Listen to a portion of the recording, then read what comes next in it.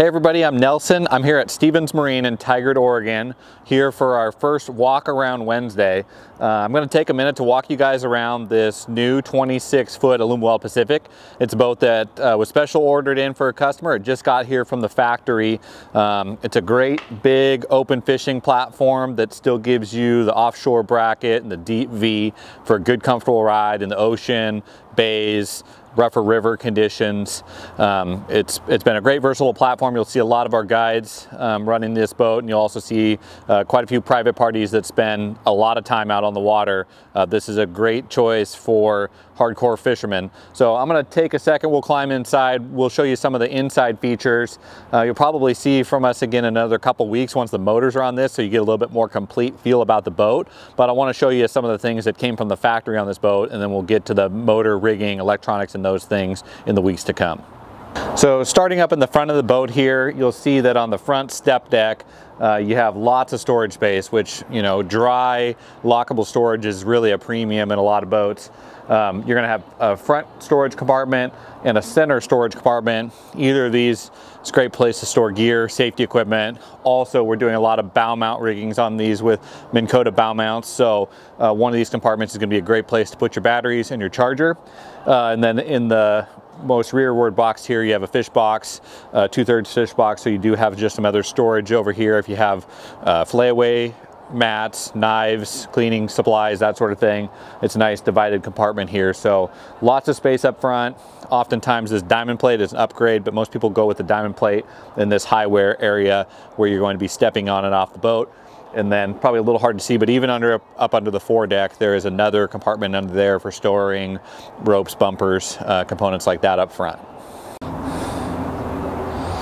So in the seating area here, you'll see that we have the uh, nice comfortable Alumaweld seats with the armrests on them.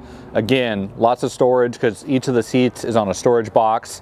Uh, we have the top load locking rod lockers here. So um, you got plenty of space for long 10 and a half foot rods for the carpeted uh, rod storage here. Just keep things organized, um, out of sight, out of mind for people that might borrow your gear um, without your permission.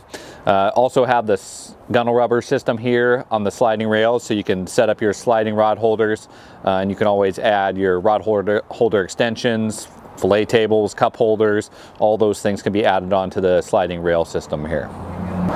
So just briefly on the console here, um, you can see we ordered this with just a nice blank canvas. So we're gonna be able to set up the steering wheel, the gauges, electronics, um, throttle, all that's going to be incorporated here. We're going to work the, with the customer to lay this out just how they want it so that when they pick the boat up, everything will be just where they want it.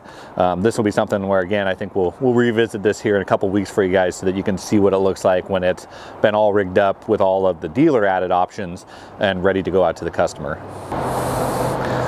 All right, so in the back of the boat here, again, we have more storage in the back of the boat. So we have these locking compartments on the open boats. These are gonna be left for yeah, electronics. So you might have your uh, GPS fish finders in there when you don't have the console.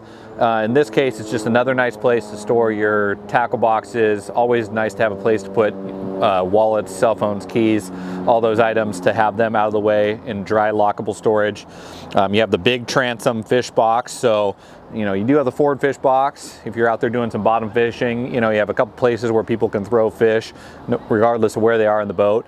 But if you're just salmon fishing, it's pretty nice to drop your fish back here in this back box and not have to carry a, you know, bleeding fish all the way to the front of the boat. Uh, does have a wash down plumb front and back, so if you do get a little dirty, you just turn on the hose, hose the whole thing out. So uh, this particular configuration, we went ahead and had the kicker mounted on the offshore bracket, so we're gonna have controls on the console for the kicker and the main motor. Um, the Pacific is available to have kicker mounted at the transom so that you could just sit back here and steer it with a tiller handle as well. But again, with the sort of offshore uh, big water capabilities. It's sort of nice to have both motors back there tied together. Um, again, has the nice 18 degree deep V for cutting through the choppier water.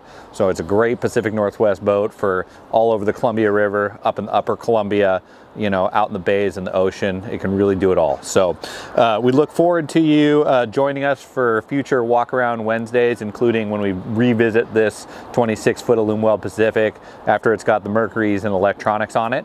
Um, make sure to follow us so that you don't miss out on those videos in the future. Thanks for watching.